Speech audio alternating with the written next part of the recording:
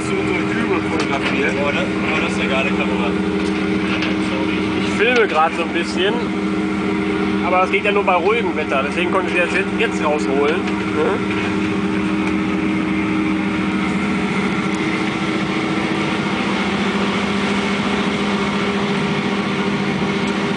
Leo liegt natürlich wieder auf, auf seiner Couch. Da gehe ich schwer von aus.